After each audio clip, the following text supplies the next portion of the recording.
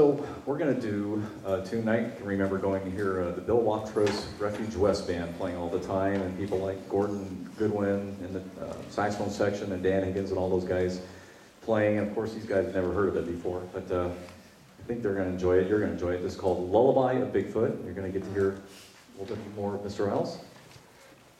I still want to, I think everybody should put their hands together for Charlie Richards there.